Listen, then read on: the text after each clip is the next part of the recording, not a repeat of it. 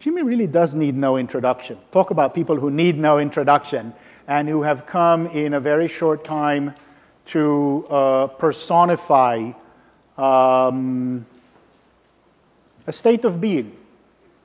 A state of being that 10 years ago uh, would have been thought of as a quirky, uh, uh largely pinko ideal, uh, and now tends to describe the lives of, I don't know, tens of millions, hundreds of millions of people, probably tens of millions at least around the world. Sorry? I'm still quirky, though.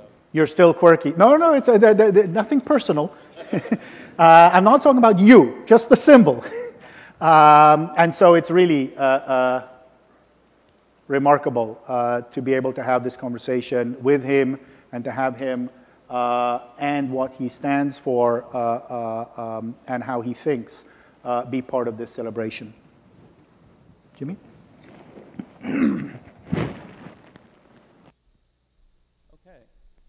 So, um, good. So I just have a few slides. Uh, we had discussed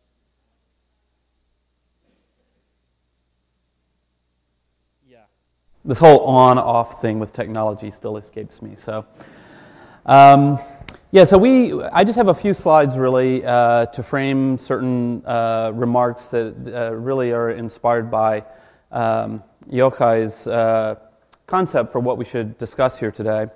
Um, but I also, of course, I, I saw JZ uh, speak about the, the early days of Wikipedia um, uh, this morning, and I've seen him speak about it before. And, and he is absolutely right about one thing, you know, this idea uh, you know, back in 2001 to say, uh, you know, I'm going to open up a website, I'm going to let anybody edit it at any time, and it's going to become the world's largest and most relied upon reference work. Uh, sounds completely crazy. So uh, the first thing is, as JZ puts it, this is a really crazy idea. The whole concept of wikis, the whole concept of Wikipedia, is really counterintuitive. Uh, and I actually think that the counterintuitiveness of it um, is actually uh, increased for those of us who are on the internet for quite a long time uh, because I think there were a lot of mistakes made in the what I call the early social design of the internet. Um, the, the idea uh, that we had, and, and, this came out in the media a lot, and there was actually a lot of truth to it in the, when the internet first became popularized, was this, this idea that the internet is this inherently very hostile, angry place. There's flame wars everywhere. Uh, it's, it's just a, a, it can be just a complete sewer. And, and the, the classic poster child for this was the unmoderated Usenet group. Uh, the, the Usenet groups were, um, uh, it's particularly the unmoderated hierarchies were not just unmoderated, but in a very practical way, they were unmoderatable. Um, it was really, really difficult for uh, anybody to control what was going on there. It was really difficult to exclude people for bad behavior when spam was invented and, and the unmoderated Usenet group started getting tons and tons of spam, there are actually people who went out and started trying to kill the spam, in some ways violating some of the rules. I mean, it was a little bit controversial that they would send out these cancel message, forged cancel messages that very quickly were accepted as socially okay because they were forged for a good cause. Um, but it was a pretty hopeless task. The design of the system was such that it just really couldn't be moderated. So there were really low barriers to entry. I mean, it was really easy to get on Usenet and post. You just you know, run a command and start posting and so forth. And this led to early popularity, but the same low barriers to entry also led to destruction. Uh, spam, trolls, flame wars.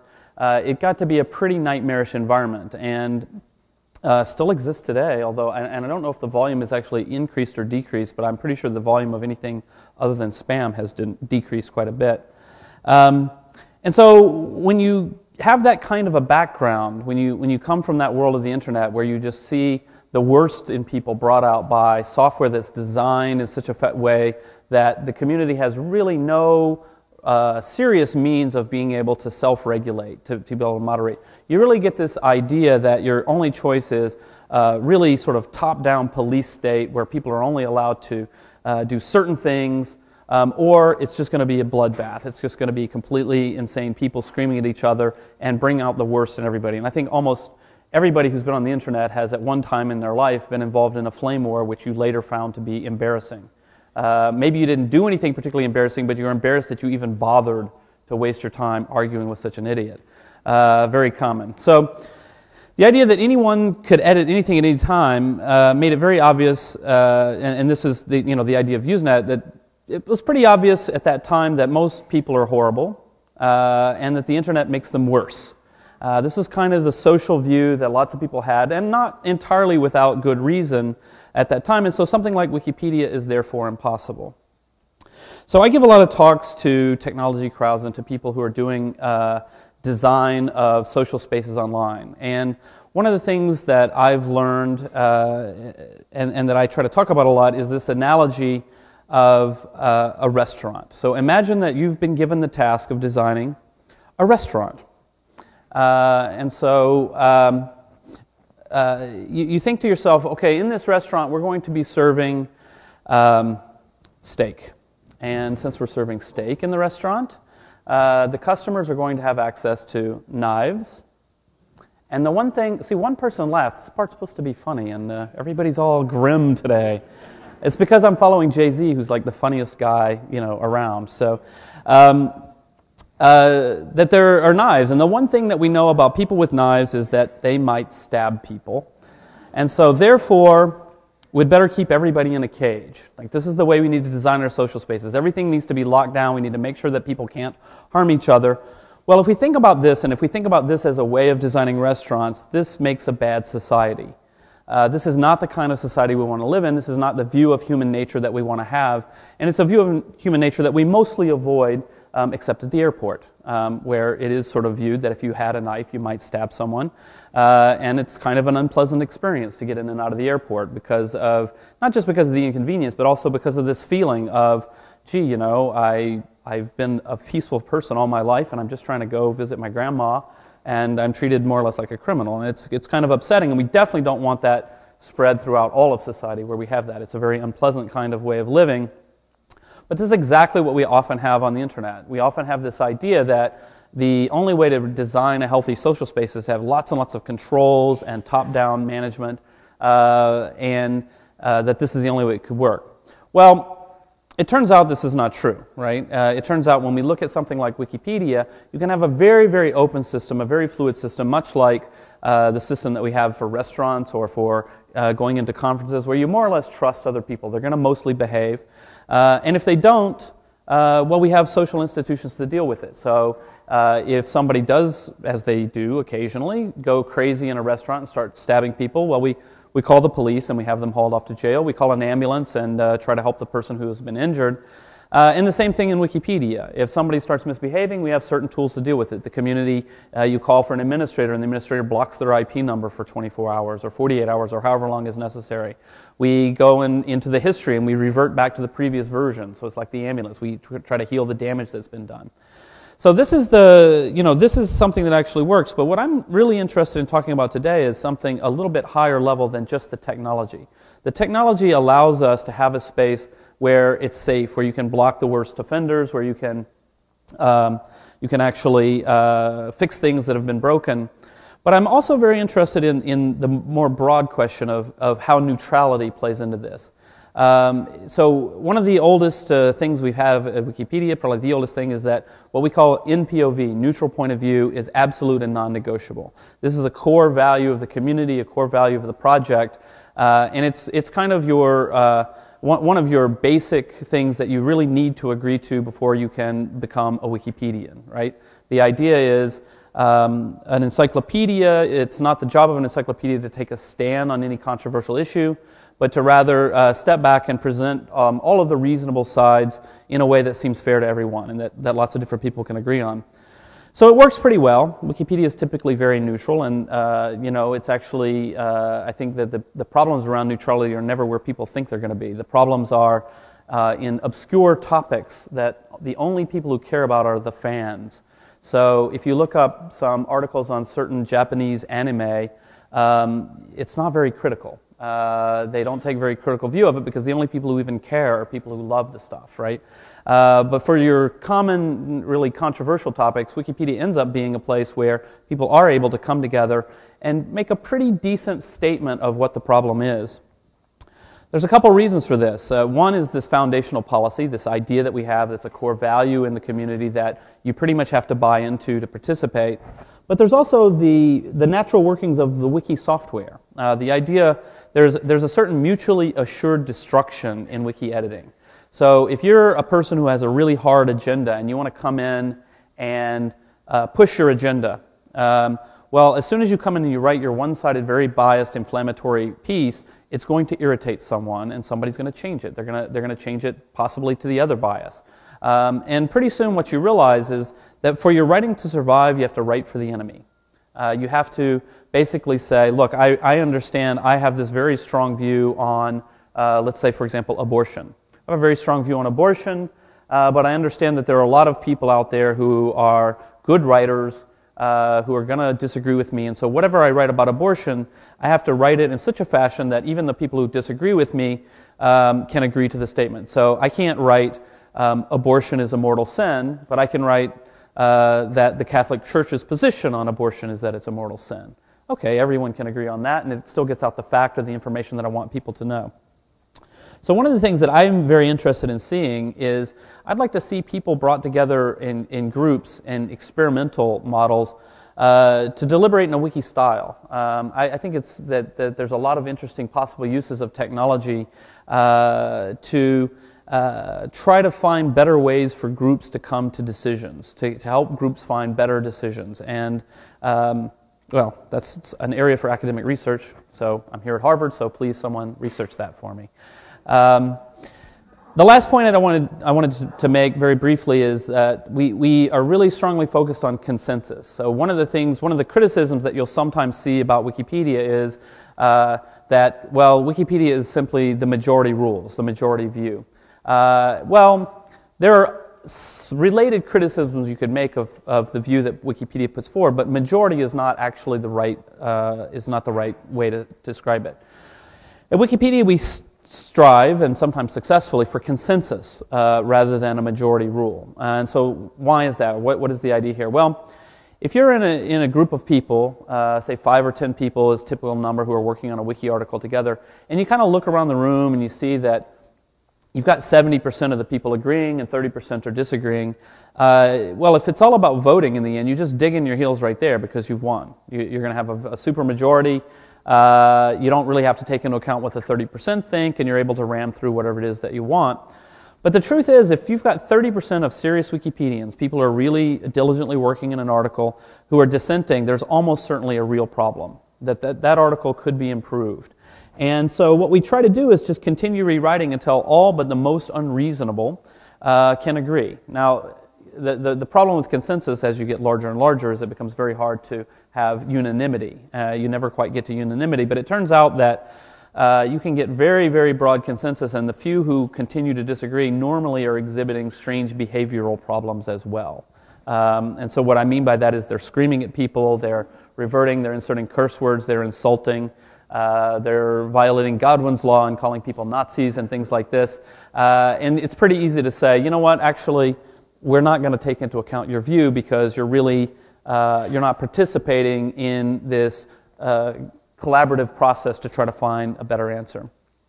So those are some of the thoughts that I that I had in in terms of kind of setting up uh, our conversation, and uh, you know really would like to during this this discussion talk about some of these uh, ideas about uh, how, how can the internet continue to move? And I think we are moving in a positive direction. How can we continue to m- move from the old idea of a place where people go to flame and scream and yell at each other uh, to a more healthy environment where we can have very useful, uh, deliberative uh, democracy and, and ideas like that? Thank you.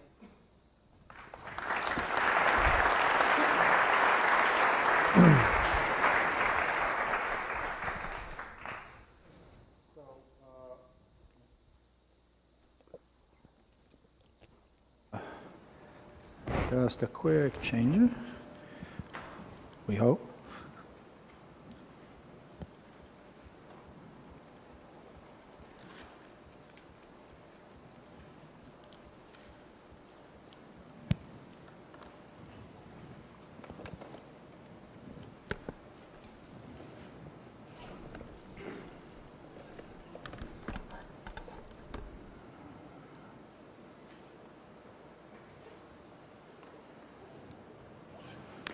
Uh, I couldn't, uh, I couldn't resist since uh, Jonathan put up the my book being uh, blocked by Google and bad and, and stop badware stopping.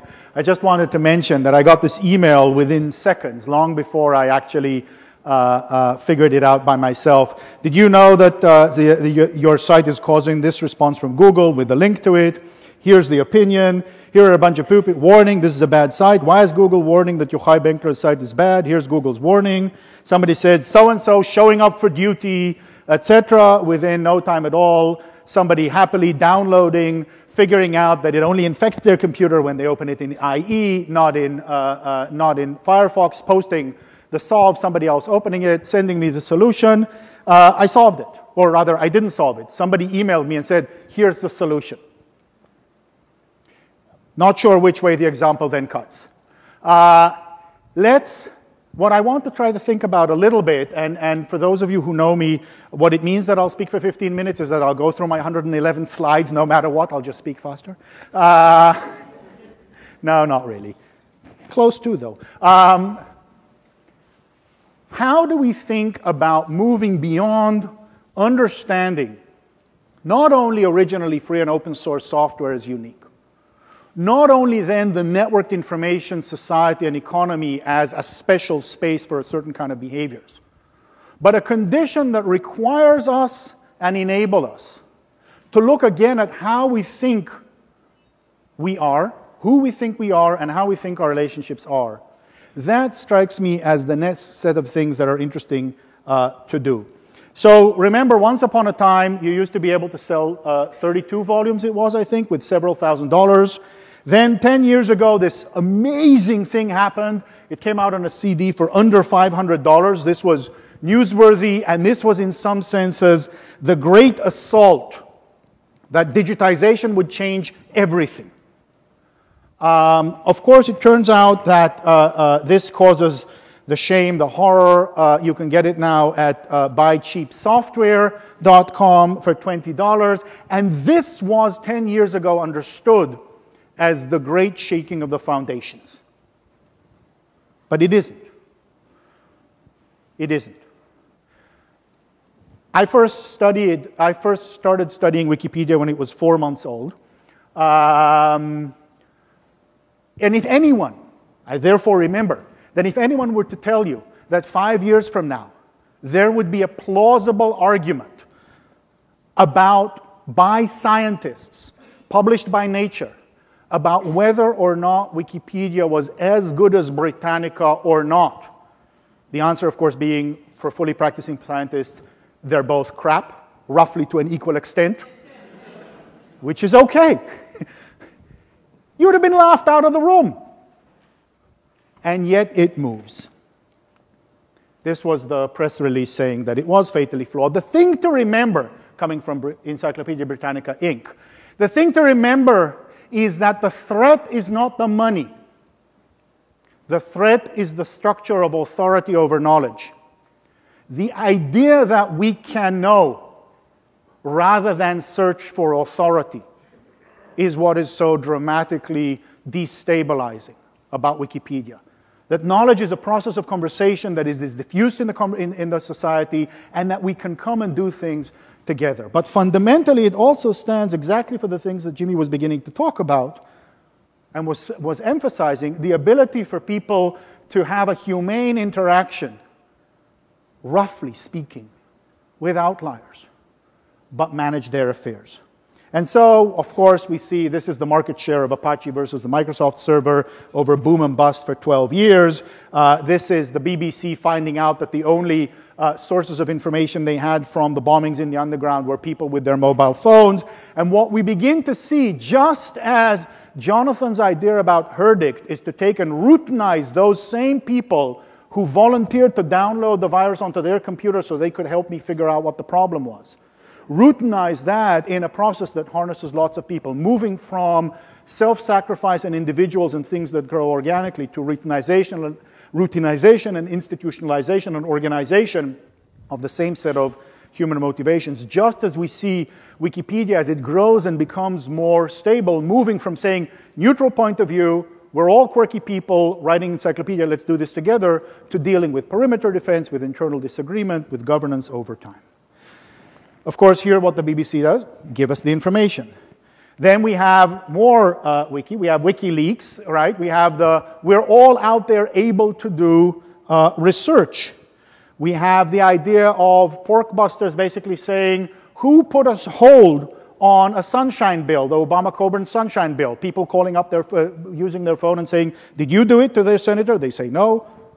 They report in by process of elimination very quickly. Stevens does. Again, then you have institutionalization and stabilization. So Ellen Miller was talking about Sunlight Foundation uh, earlier. Here's the utility. I ended up looking just for this purpose to see what was here in the location. Here's a particular earmark. It led me to realize that there actually was, as it turned out, some kind of higher correlation between ALS and the Gulf War. But it made, what's that got to do with each other? And then going uh, forward and looking from there. But you can look and find the earmarks located locally to you. Then there's this interesting thing that you just sometimes can't see the human condition unless you look at it together. So this is learning to love you more. People, do this. In this case, take a photo underneath your bed. Well, one doesn't seem very interesting. But then you start looking at who we are. And only through looking at all of our lives together, you begin to realize how different we are from each other. Then there's YouTube, right? Let's do video. I will broadcast myself. That's step one. But step two then is Kaltura. Let's us all do together. Let's have a collaborative platform that allows people to combine their materials and to edit together in video now. Is the next move from YouTube paying people, like companies like Revver, for example, were focused on, or is it about building collaboration? This is a commercial company trying to invite people to collaborate, but it's a commercial company that then tries to put itself in some kind of an ecosystem of talking to Wikipedia. Can we set up something that will be consistent with your values which we can then allow people to uh, contribute documentaries into Wikipedia, also in an editable format. But again, we're beginning to see the move from something that's quirky and on the side to something that's mainstream, something that is becoming increasingly understood as a business proposition. And so you get something like Threadless, right? We don't design even anymore. You design, you vote on what design you want, we'll stamp them on and sell them to you. You, the designer, will become a celebrity. They wear your designs. Now read their thoughts. Here's the blog of the people whose designs you wanted.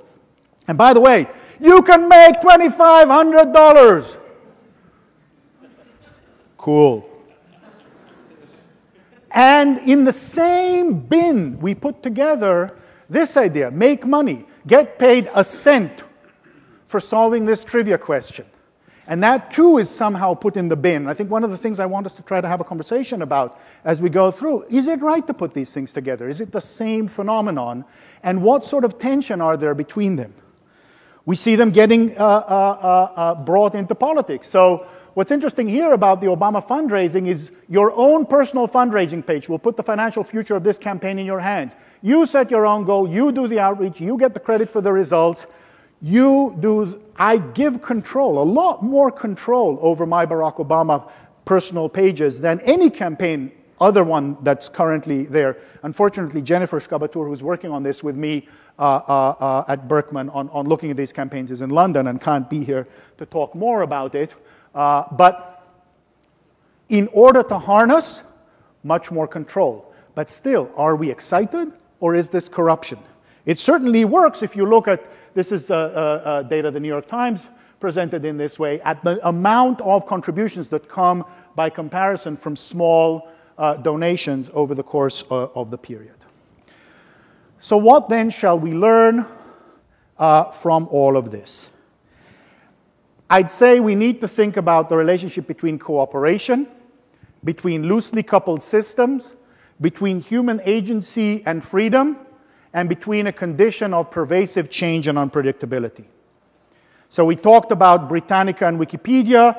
We see a stable view of knowledge embedded in a technology that is stable, embedded in a human uh, uh, relation where there's a small number of authors and everybody passively is constrained to read that, embedded in a legal system that is stable and copyright and understood as generating a certain kind of incentive and human motivation, challenged by a much more loosely coupled system, allowing much greater human agency to, to engage, to learn, to teach, allowing for much greater change and unpredictability. The sense of when something is done and when it isn't, when it is good and when it is not, requires a lot more learning, a lot more critique, a lot more turning around. And in order to make it work, all of this freedom to change requires a certain motivation, a certain will to engage in the process of neutral point of view, in the process of conversation. So it requires a certain cooperation dynamic. This is what Jonathan was talking about with regard to what was possible with a controlled network versus what's necessary in terms of overlays of human cooperation and structuring the right kind of motivation for the net. And it's not just technical systems or the net.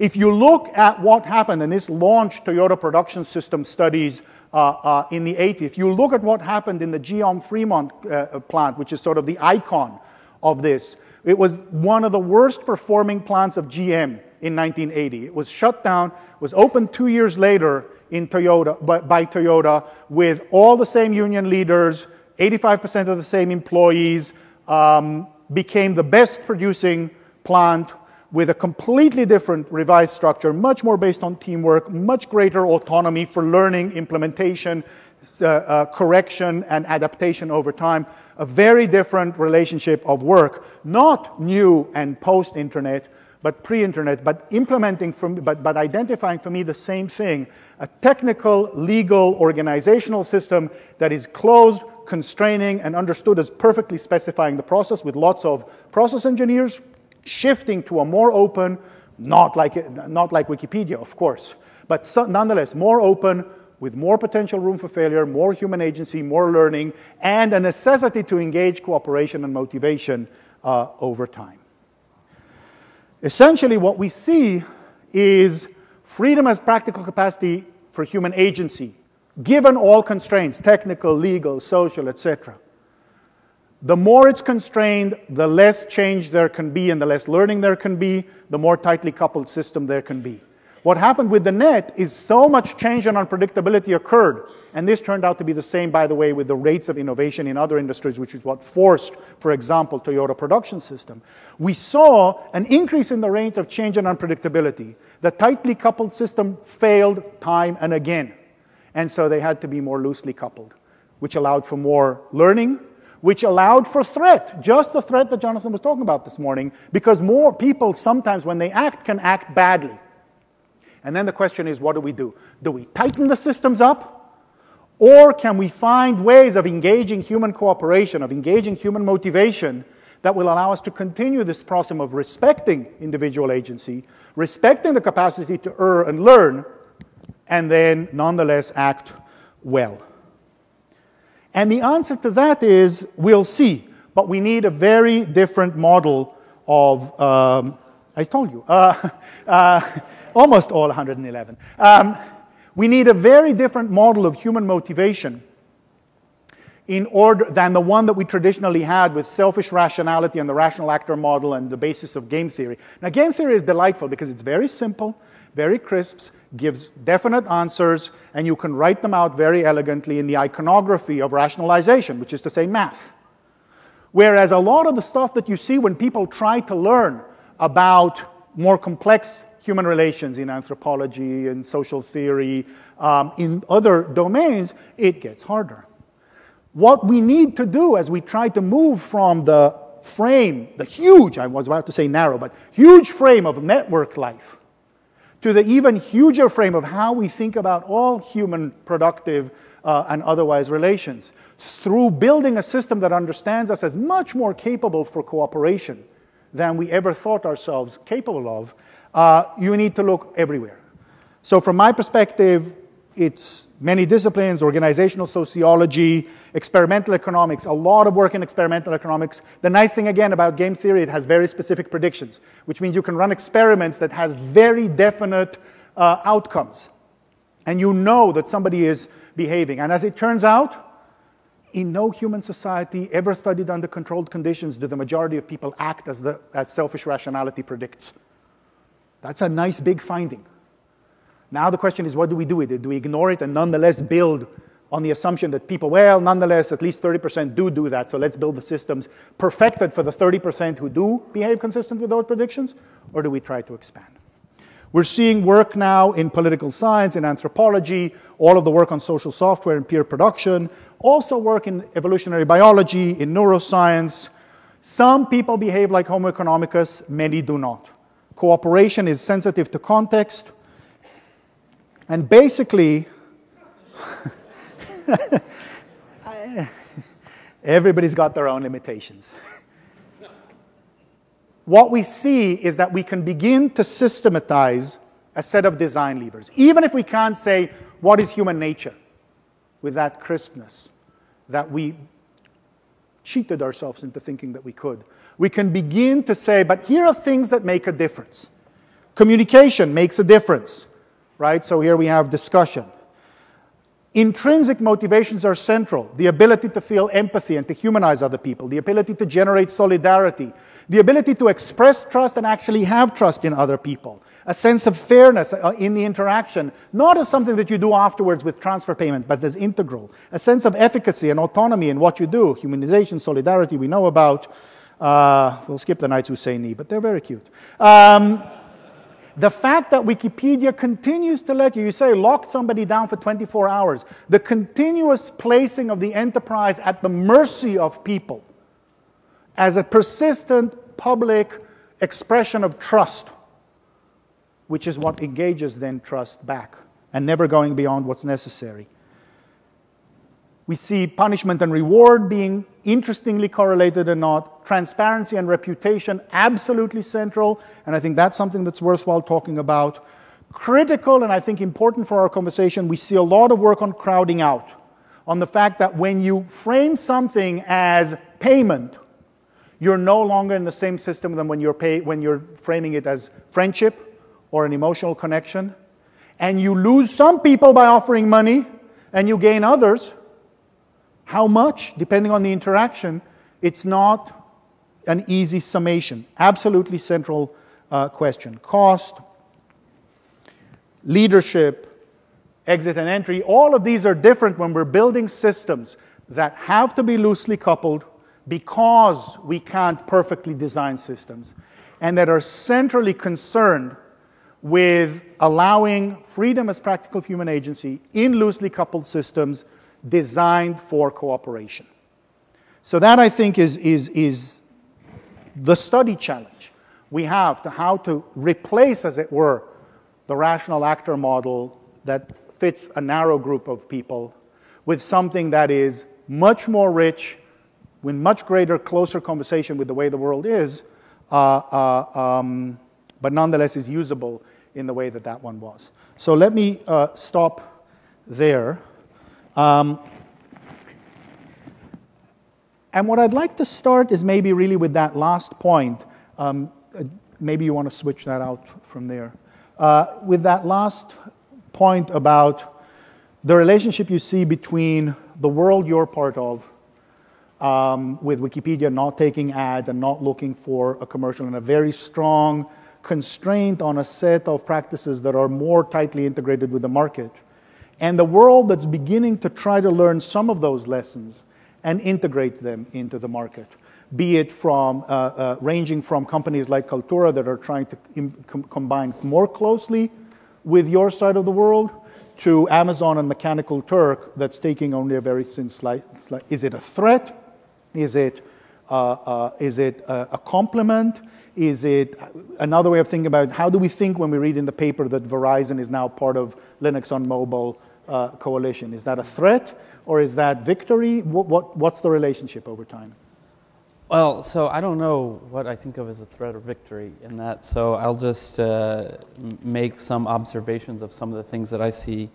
Um, so something like uh, Mechanical Turk, this idea you're going to go and do something and get paid, uh, you know, for piece work, some kind of intellectual piece work, uh, strikes me as a very, very, very different activity from what people are engaging in uh, in a wiki community. Uh, people in a wiki community are uh, typically there to have fun uh, as one of the, the, key motivations, and it's not just fun, but it's a it's, it's, you feel productive, you're doing something useful for your community, for other people who are interested in what you're interested in, and you're also engaging uh, with other uh, like minded or perhaps differently minded individuals who are interesting to you in some way. And so that's a, it's a really a social community activity. Um, and uh, it's very different from, uh, from, from what you're doing at, at uh, something like Mechanical Turk. One of the, the, the phrases that I find uh, sort of the business bu- buzzword these days is the, that I find uh, offensive and annoying is the idea of crowdsourcing. Uh, now, that doesn't mean that, the, that maybe something like Mechanical Turk is an inoffensive crowdsourcing, you might call it, but uh, the, the idea of crowdsourcing is, is something like, uh, gee, you could, you could get this work done cheaper if you outsource it to India, but you could really get it done cheaper if you could somehow trick the public into doing it for free. Uh, and companies who think they're in the crowdsourcing business probably really have no idea what they're doing. Uh, they, they, they're really, they don't understand something really fundamental about the business. So the way I look at it is, um, so at, at Wikia, my for-profit company, we have advertising-supported wikis. Uh, and the people who are there doing things, uh, you know, one of the, one of the analogies that, that we draw is uh, it's, uh, what, what we view our business as being is uh, very similar conceptually to uh, what you do if you are managing a bowling alley. Right? Now, some people get paid a lot of money to do bowling, and then these suckers do it for free, right? Well, that's a funny way of thinking about a bowling alley.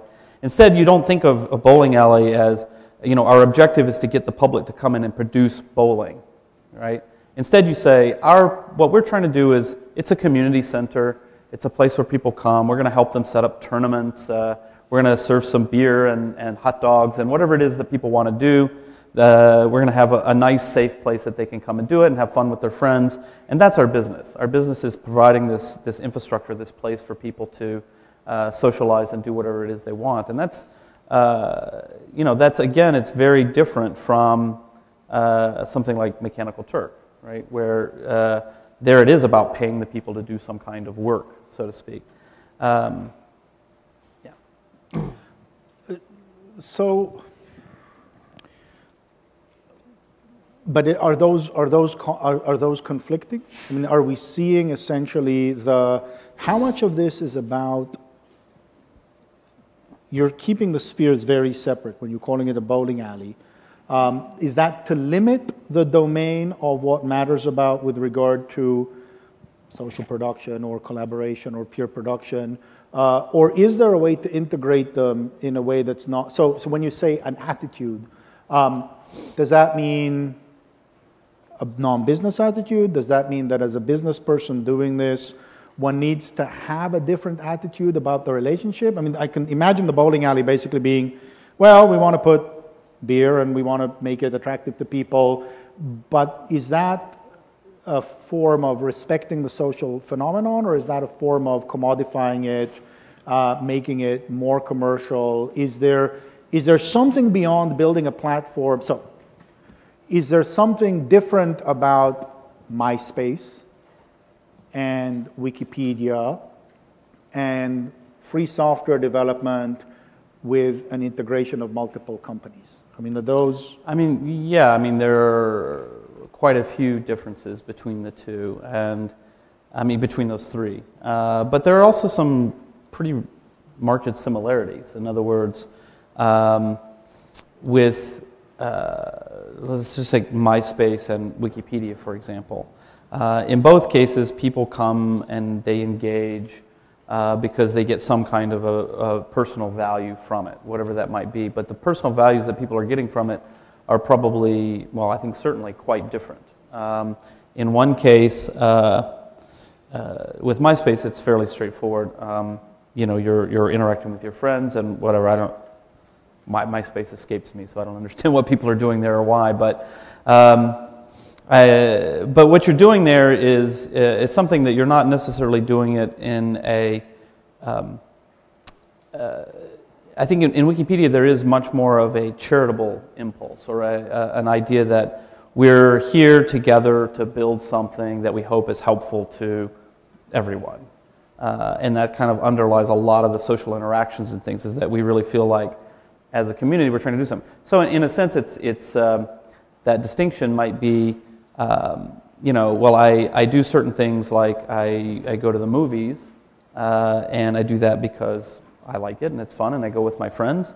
Uh, and then people do things like, um, uh, you know, they, they go to church or they, they attend church socials and they bring, uh, you know, uh, some dishes for everyone to share and eat and so forth, where it really is more of a community activity. And it's really, uh, people are thinking of that in a different light. It's not just, well, I'm just doing this because I like movies and I want to have fun, but it's also a more conscious idea of being part of a community and actually interacting with others in a positive way. So, how, how stable is that uh, as a description of where Wikipedia is today?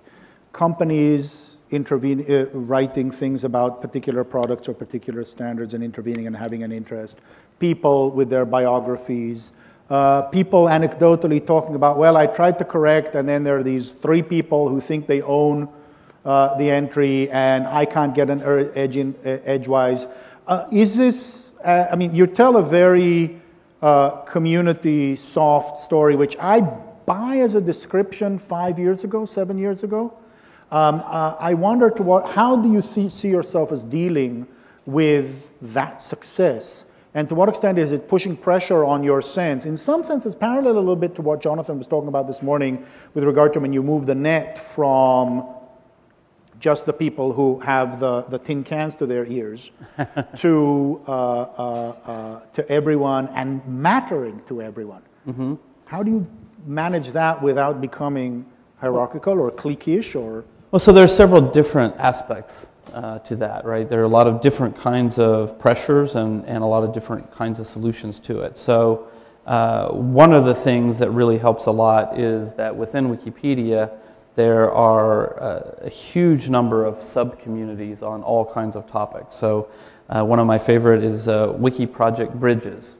So, I met this guy in California, and he's a retired uh, young, not, you know, he's, he's not an older guy, he's a young retired software engineer. And he likes bridges, and he works in Wiki Project Bridges, and uh, he and a group of people who are into bridges as a hobby, they all know each other from the wiki, and they work together on, on the bridge articles. Uh, and within their little group, uh, it's the same culture that there may have been back, uh, you know, when there were 20 people in all of Wikipedia. So you get these sub-communities that form that are part of the overall system, and so they, they share in the, the overall global values and things like this. Uh, and so that works, it works out pretty well in a lot of cases.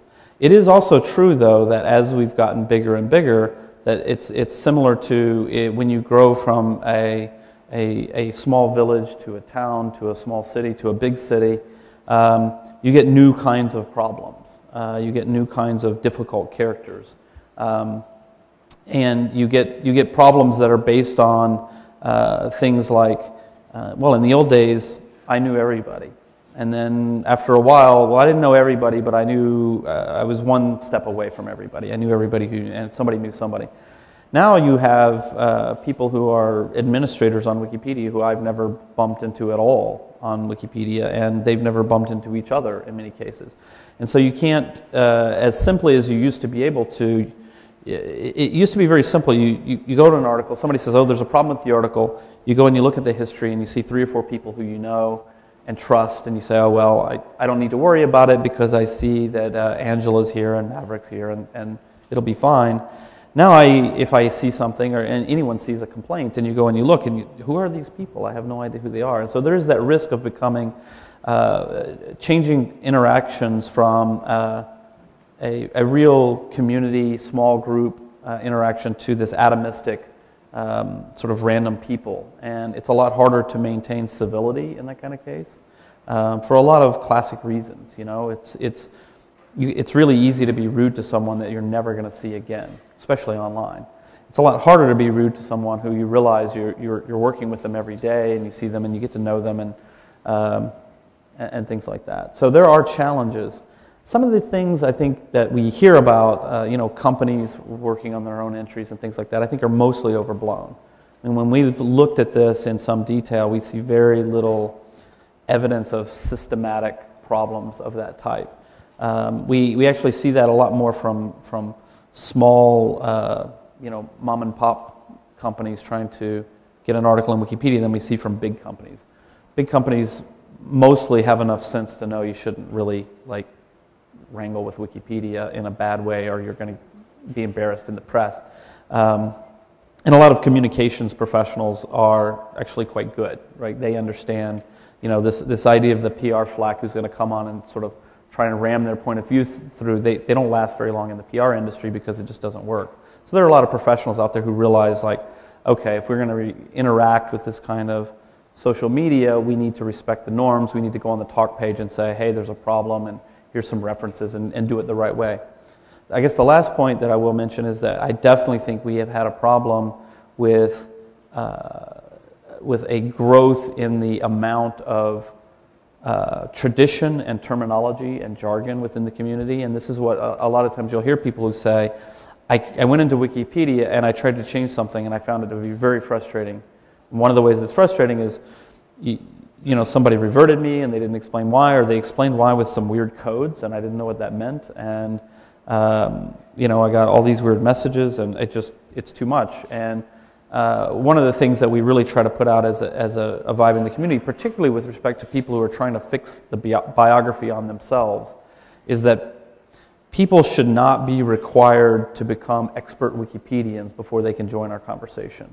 Like we should, we should take on that responsibility, right? If, if clearly somebody is acting in good faith, they're just trying to fix something, or maybe they're not being so perfect about it, right?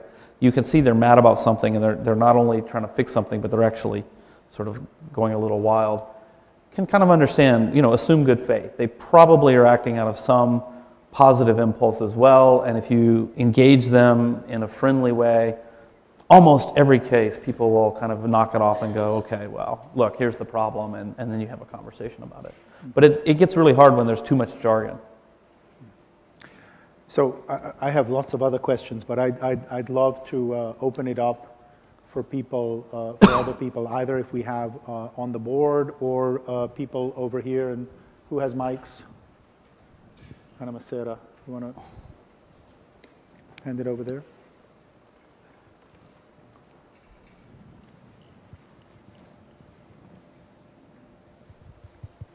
Yes, hello. I'm uh, from Italy, and I, I would like to ask Jimmy Wales, who pays for lawsuits against Wikipedia?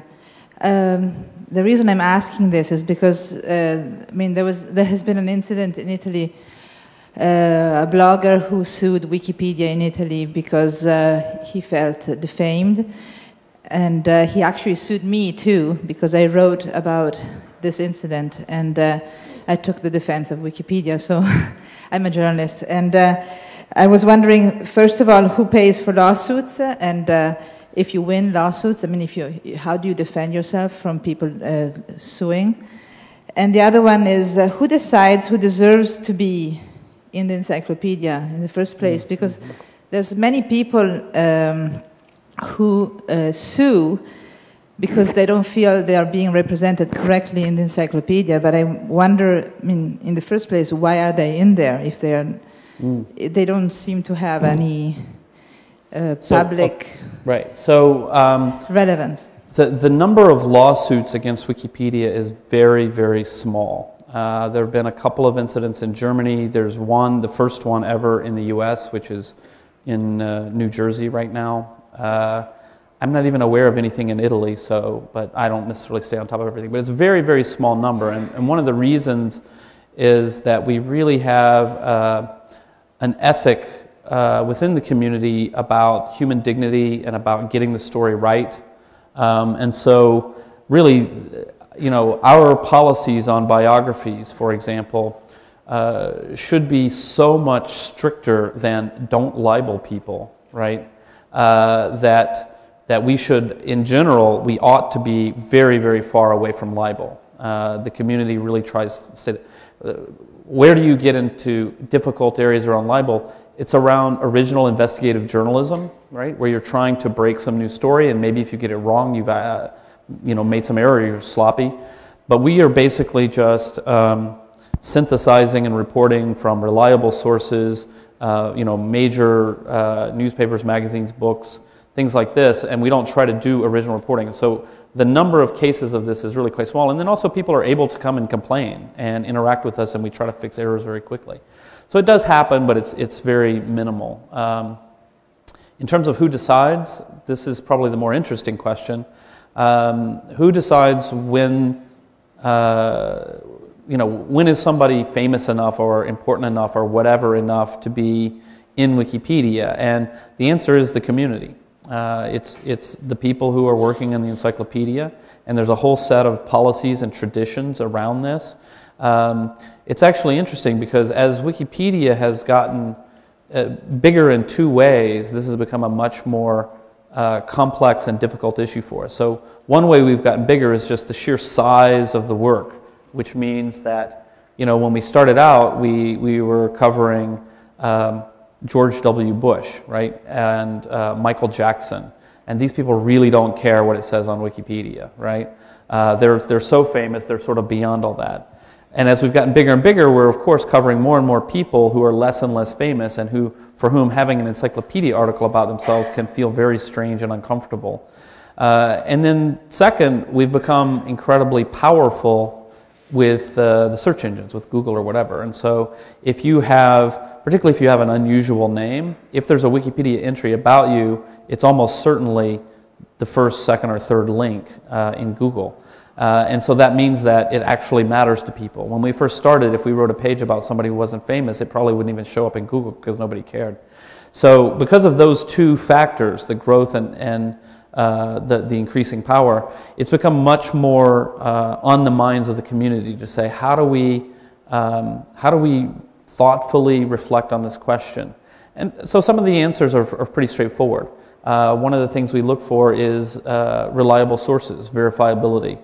Um, you can, uh, you know, someone could, could start a, an article about their own, um, their mother, for example, who is not at all famous and it's just somebody's ordinary mother. I mean, some people have famous mothers, of course, but, and write wonderful things about mom, and it could all be true, but the problem is who can verify it, right? Um, there aren't really any published sources, there aren't, there's no sort of infrastructure around that, and we just have to say, I'm sorry, but we really can't have an article about this person because we don't even know if it's a hoax, if this person even exists or whatever. So some the, there's some sort of norms like that that we look at.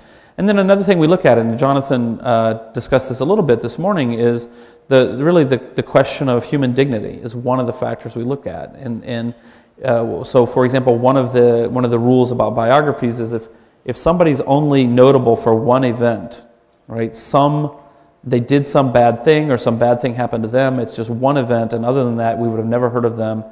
And it's a unique kind of odd event. Uh, typically, we try not to have an article about the person. If we need to have an article, we have the article about the event.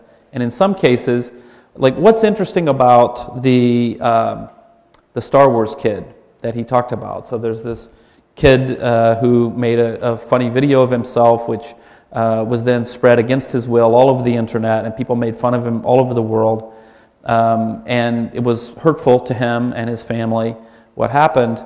Um, what's important about that, and what people need to know about that, and what's of legitimate public interest is the event. The event that this kid made a video, a Star Wars video, and this and that happened.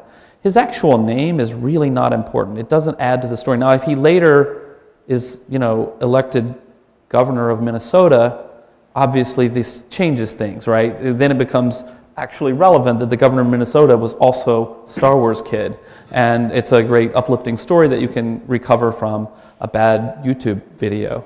Um, uh, but other than that, you know, generally what we try to look at is to say, look, what is the impact that this article is going to have on the person's life? Uh, and, and if that is, if it's unnecessary and it's completely negative, there's just no reason to have a biography. But the community decides really on a case by case basis because there's no simple magic formula to come to good editorial decisions. Um, Esther, can I call on you? I know you're, you're um, can we have a, a, a, mic over here? So here's a question to you. Um, Jimmy's been talking about um, the role of, uh, the role of ethics, uh, eth- a certain kind of ethical commitment to a certain kind of way of engaging people. Um, when I asked him about this potential tension produced between people operating in the market and people uh, operating in this social space, he strongly emphasized the social nature of what was going on and separated it quite starkly from these other things, say, like MySpace, that are commercial spaces oriented to give people a space to be social, but not necessarily with the same kind of orientation. This is also something that I have to say in my own work as I'm beginning to think now about how we build a motivational profile, uh, an understanding of human motivation, to create a stable role for commitment, for normative commitment, for moral commitment of doing the right thing as opposed to just the expedient or the fun or whatever. Also, at least theoretically and experimentally, seems important. I'm curious to what extent being as immersed as you are in a universe of people who are looking from the business into the social space, looking for new ideas about how to do things, the extent to which you see a point of corruption, a point of acceptance, a certain class of person and style of person with a certain orientation to the world being more drawn towards certain kinds of things. Um, what do you see?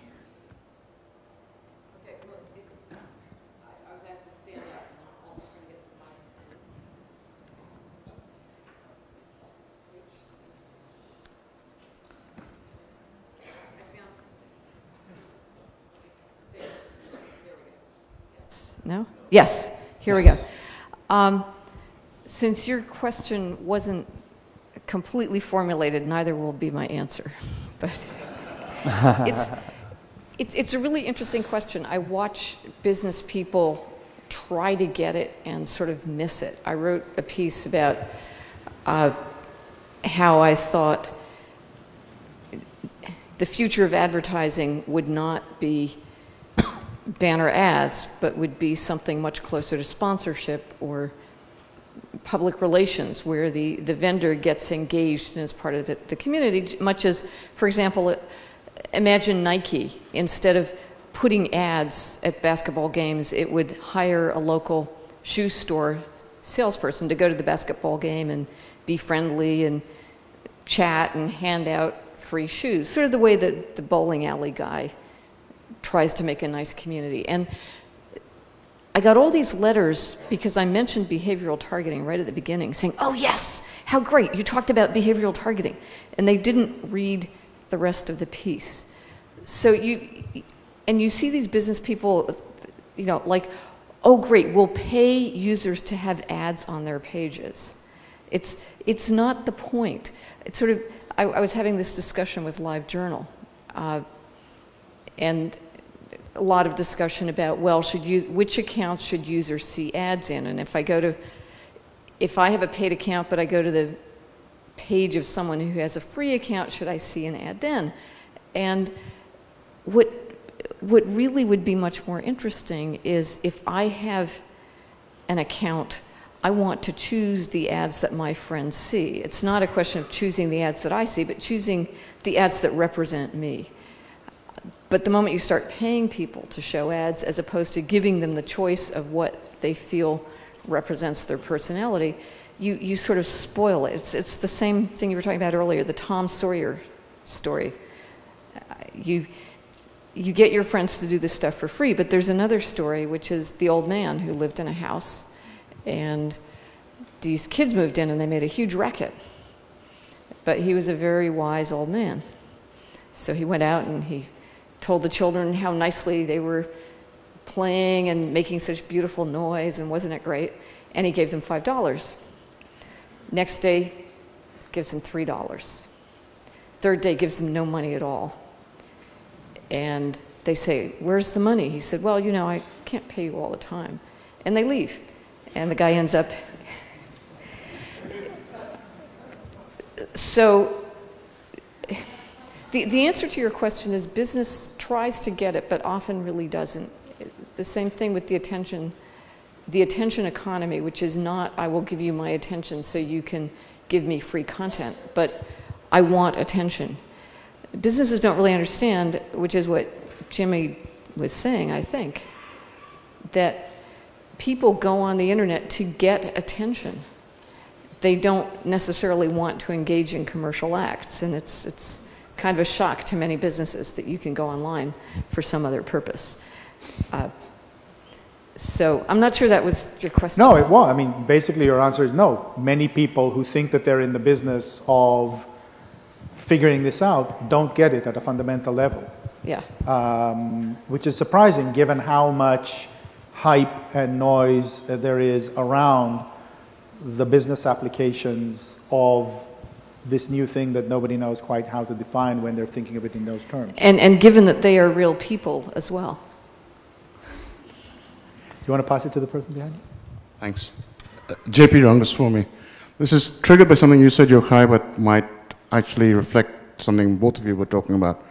You spoke about loosely coupled systems designed for collaboration, for cooperation. Uh, Clay Shirky, I think it was, who said that if you can keep the, the cost of repair at least as low as or lower than the cost of damage, then you can avoid a tragedy of the commons and something sort of beautiful can emerge as a result. Uh, I can't help but think that we're missing a trick, that there is some way of reducing the cost of repair by collaborating, which you cannot as easily associate with increasing the cost of damage. We might not be able to reduce the cost of damage or increase it because cooperation wouldn't take place as easily, but there's, there's something we're not necessarily doing enough of to say that if you cooperate, you can reduce the cost of repair and therefore, thereby always create something of value in a collaborative space. Is, is that, am I losing my head? Is there something sort of worth trying to get into? No, no, no. I, I don't think you're losing your head. I think that actually, I mean, but the question is which way the causation goes. It's not a one way, it's not, it's not one directional, right? One aspect of so this was, uh, this was actually in Jonathan's slides today when he identified the, uh, uh, uh, the function of being able to revert to a prior version. Right? That's a basic functionality within the system that limits damage uh, dramatically. And by limiting damage dramatically allows you to engage in this act of trust. I mean, one of the things that happens is uh, it part of, I certainly very early talked about chunking the work into, into small modules to allow people at a very low cost to collaborate. But another thing that happens when you chunk the system so much is that any given act of damage can be relatively, well, not necessarily when you chunk, but you can. And that's essentially what you get with this very easy revert. You create the ability to actually take risks, create the ability to engage in trust, you create the ability to allow people to have autonomy.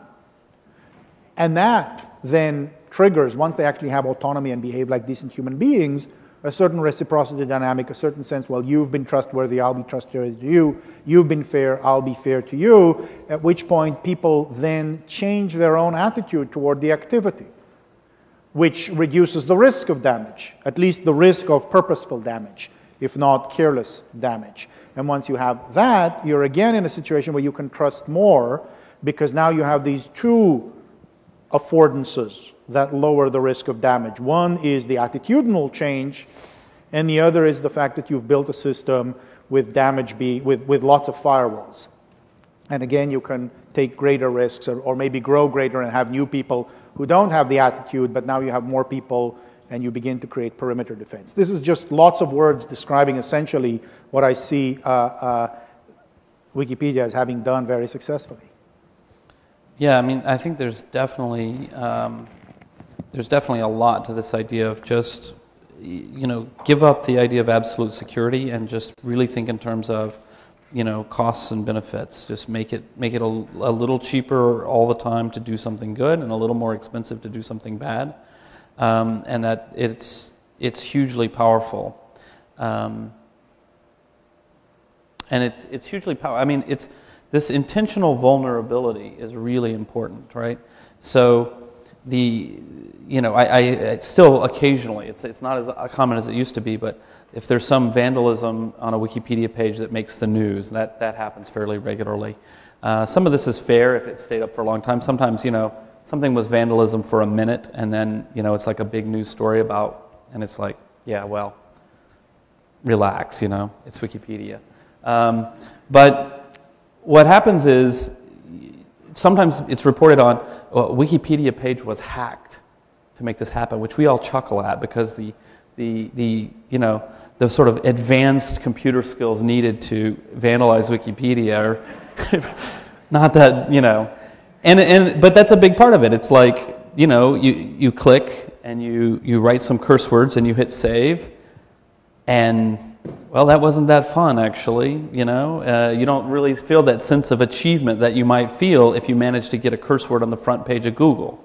I'm sure that kind of thing, their defense has to be a really strong defense, right? That's sort of looking for absolute security, where they say, look, we have to be super careful. We have to have all these firewalls. We have to make sure nobody can put a curse word on the front page of Google because uh, that just, it's, we're not here for that, right? Um, as opposed to the idea of, eh, you know, put a curse word in Wikipedia. We don't really care. We'll fix it in two seconds. So what, you know?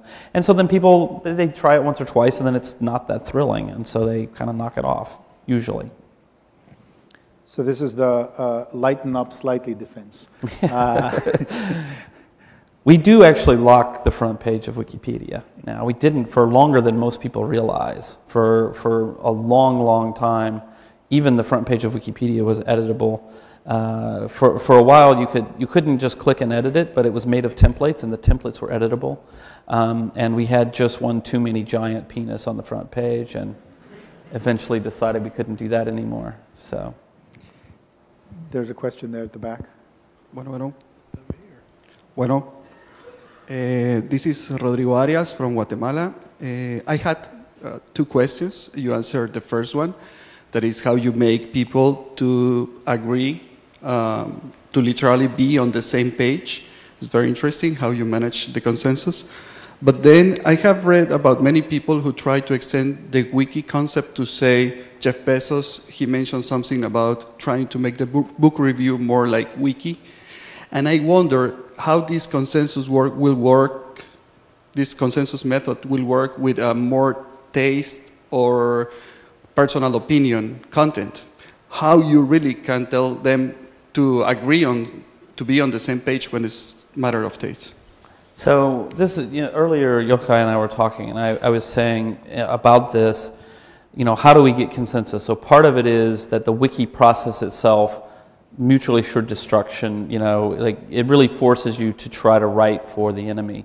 But it also, I, I think a really important point is that as it turns out, most people are pretty reasonable as it is. And uh, you don't really get that you don't get that sense from a lot of other kinds of media. You know, it's traditional on television to have a political debate by getting two people who are on opposite sides of the issue and you put, up, put them up and have them yell at each other. Or in USA Today, you have the editorial, you know, for it and against it. Uh, and that's political debate. But most people are actually kind of in the middle somewhere and they kind of acknowledge that these are complicated issues and I understand that there's pros and cons for different alternatives that we might choose. And so people are able to work together much more effectively than you might think.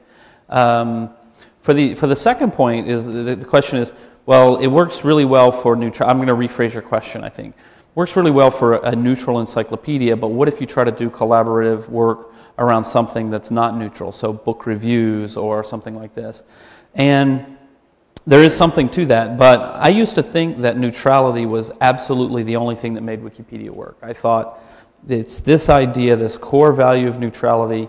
Everybody can buy into neutrality, and it solves a lot of problems. And that's actually true. But it turns out that, uh, and I know this now because of watching many, many, many, many other wikis that are not neutral thrive and succeed.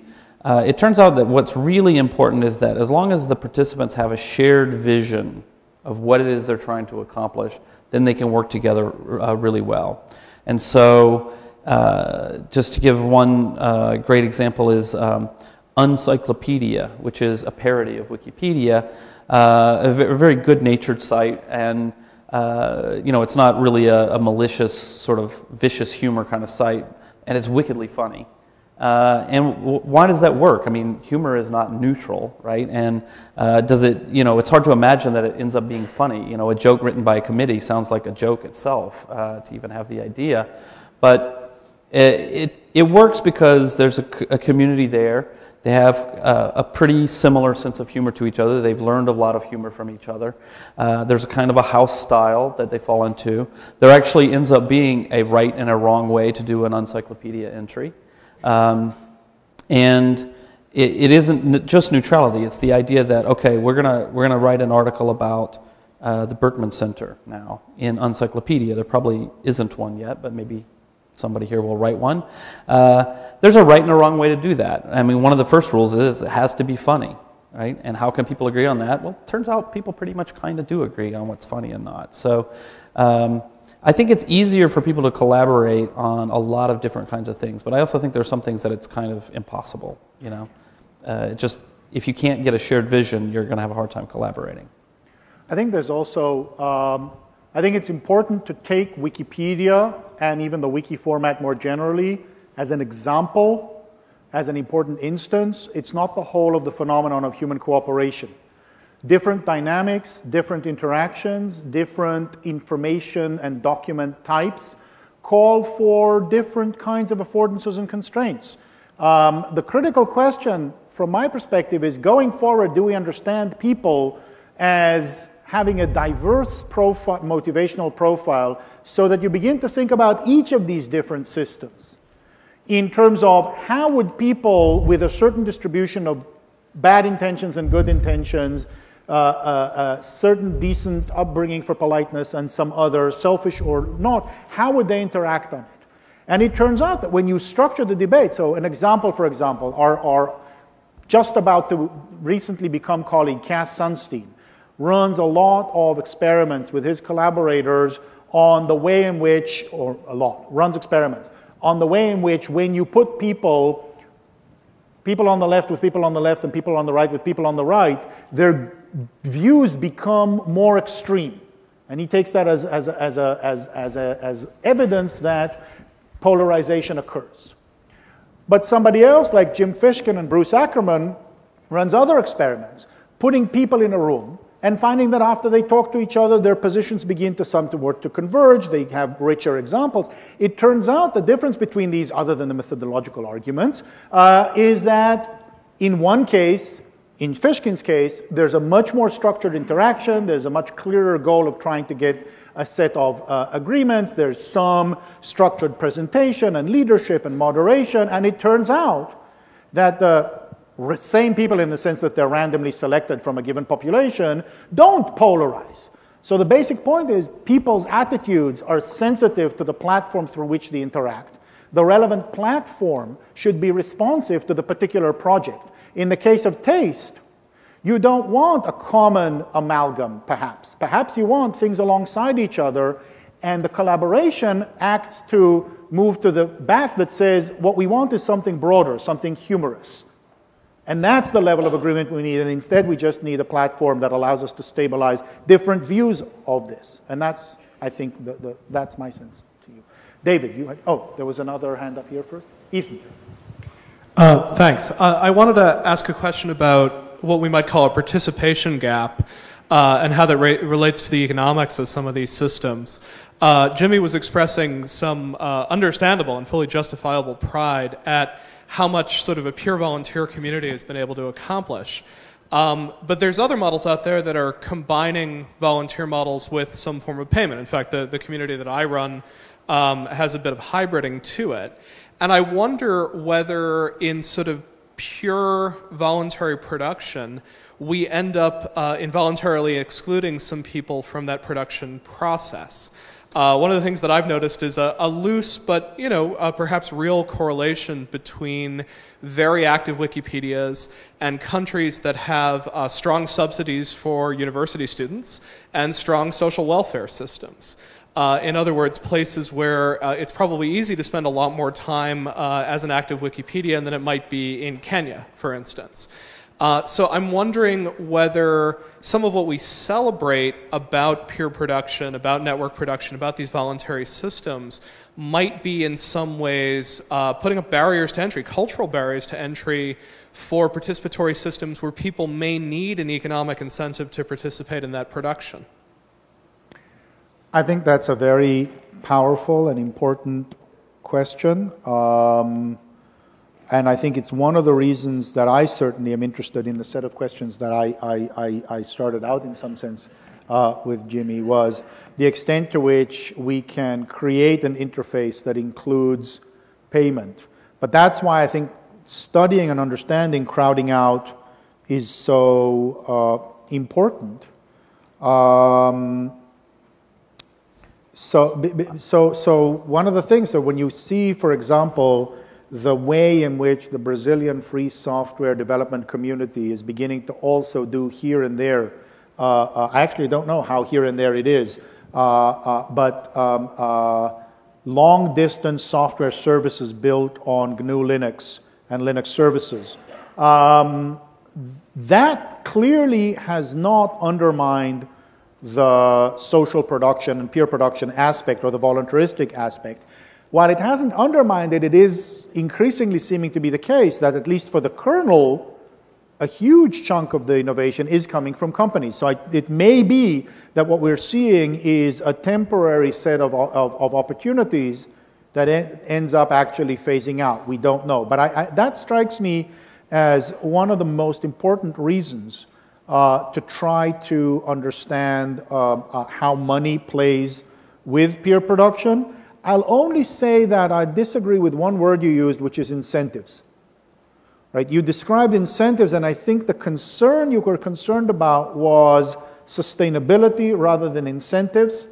The kind of thing that you talk about allowing a musician to release their music for free on the net, but make a living, not millions, but make a living uh, as the question of how we as a society do or don't support professional musicians is a similar view, but on a, on a local as opposed to a global uh, level. And I think one of the things we're going to have to negotiate is how we think about this money being not about incentives to produce, understanding that the incentives are more complex and mixed, but rather about uh, availability and sustainability given flows of funds. And I think that may be part of the first step toward creating a framing, a cultural framing, as well as the way in which you price it and the way in which you understand what is paid for and what the ratio is between what's paid for and what's not paid for, uh, to be able to create a sustainable flow of funds that's part of the community and understood as, in some sense, fair and sustainable. Uh, but I think we're going to have to think about it in these terms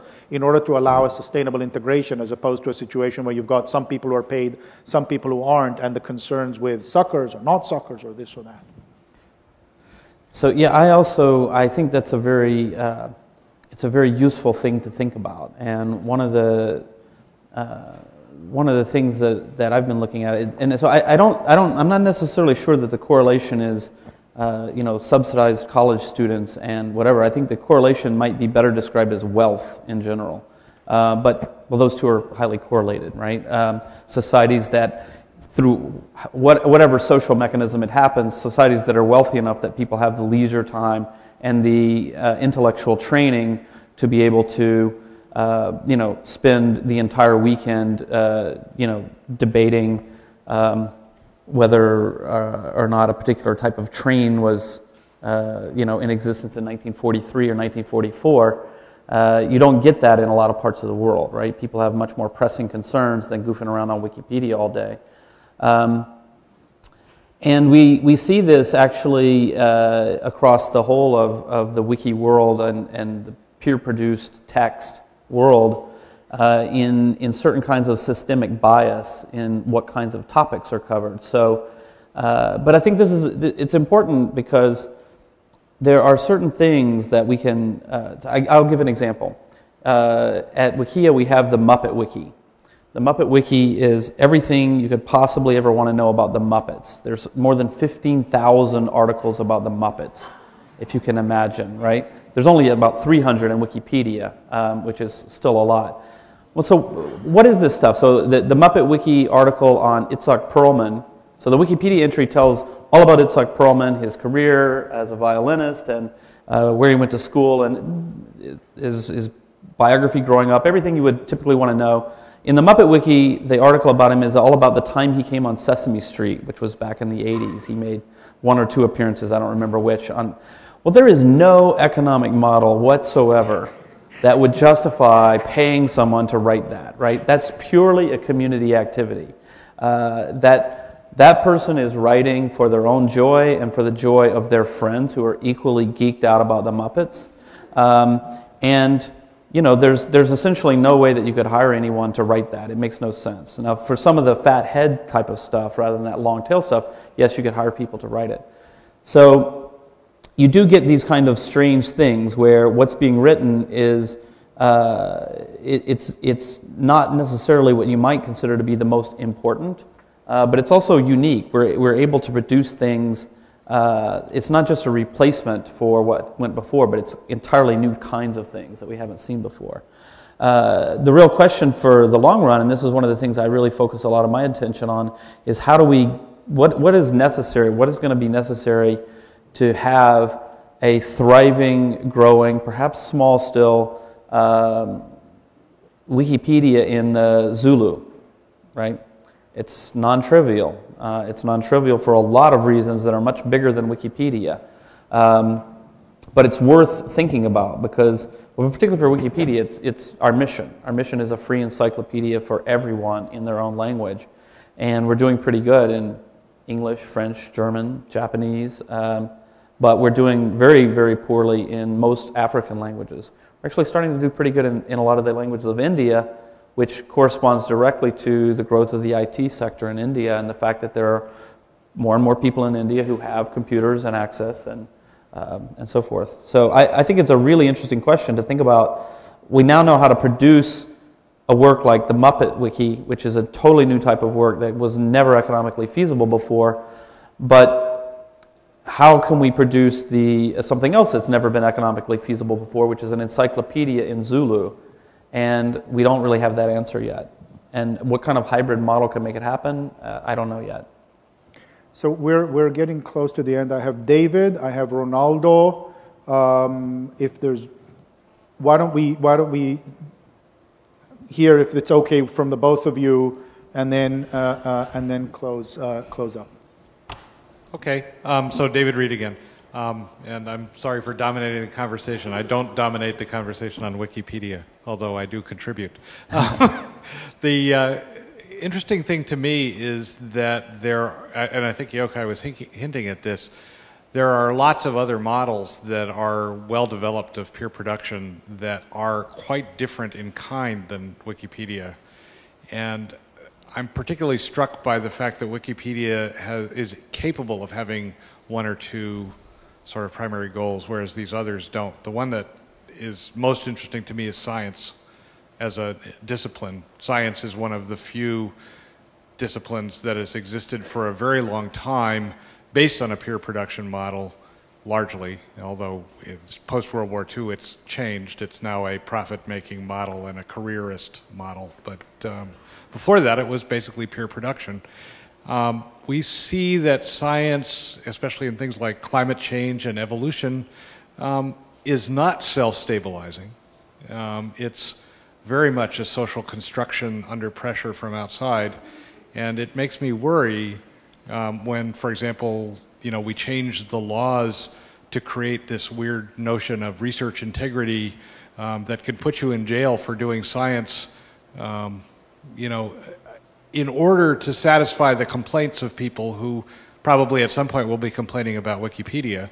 Um, they just haven't woken up to it yet. And so I'm curious about this as an evolutionary process rather than a stable process. Are we just in an early stage of things like Wikipedia, and the late stage will be as screwed up as, as modern science is, um, and li- uh, as little likely to clean itself up in, you know, in any near term? So you might have some comments uh, rather than that just being a statement. Um, it's Ronaldo Lemos from Brazil, uh, iCommons and FGV.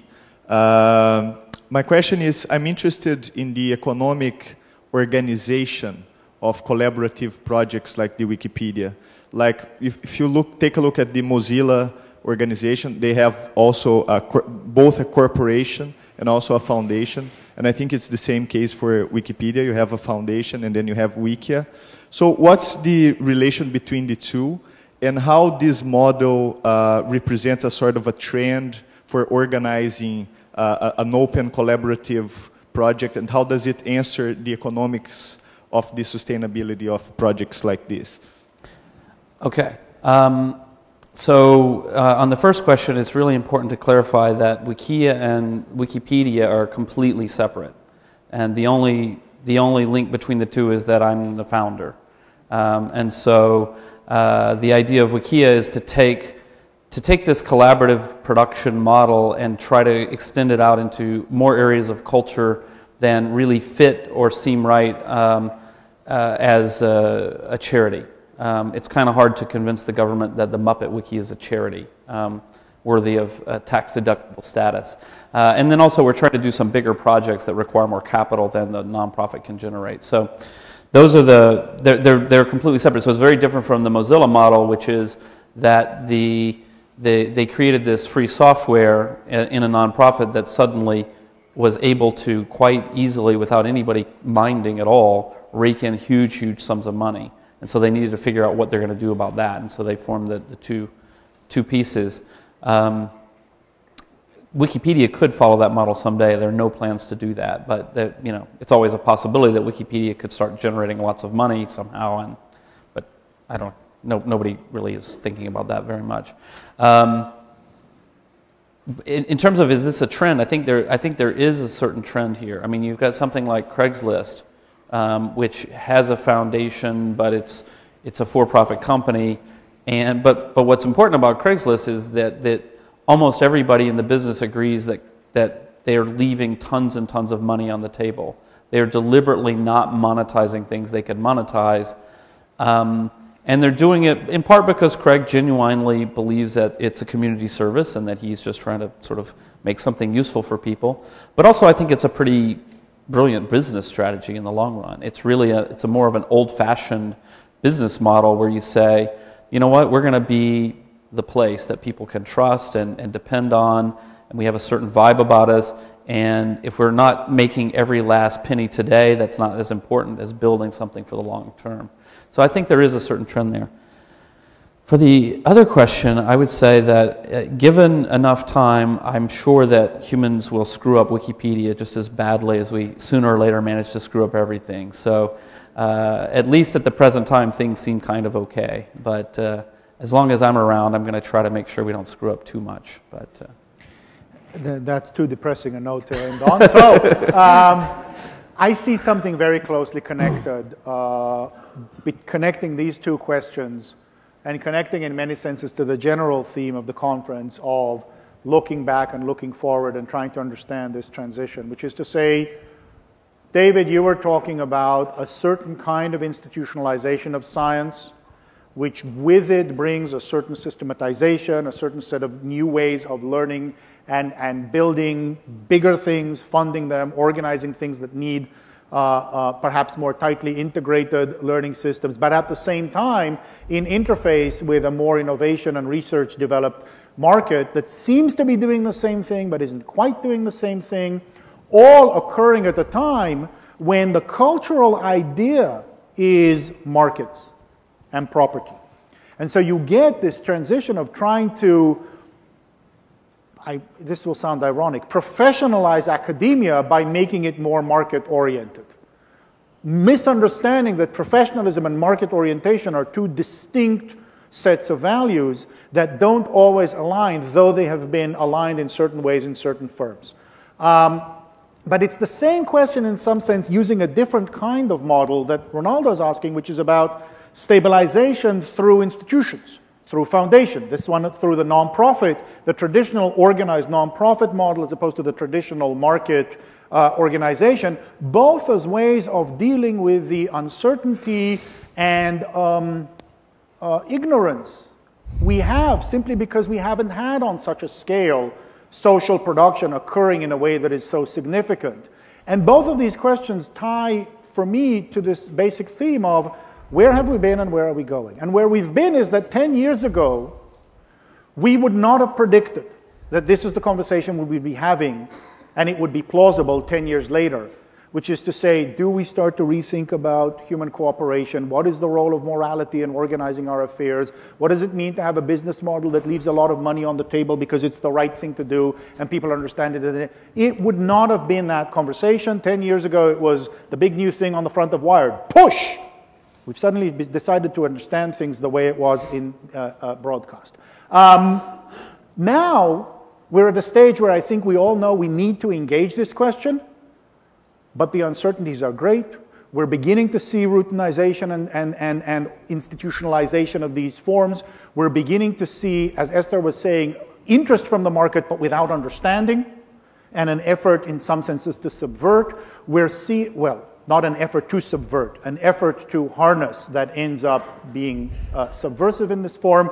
And this is the set of questions that I think is a huge challenge today which is to say, once we've gotten over the problem of this just doesn't exist, it's just not here, it's not happening, to okay, okay, I believe it's happening. How do we figure this thing out? And that strikes me as a, as, as a really big question we need to look at uh, going forward. So let's break and have some coffee and talk uh, to each other. Thank you.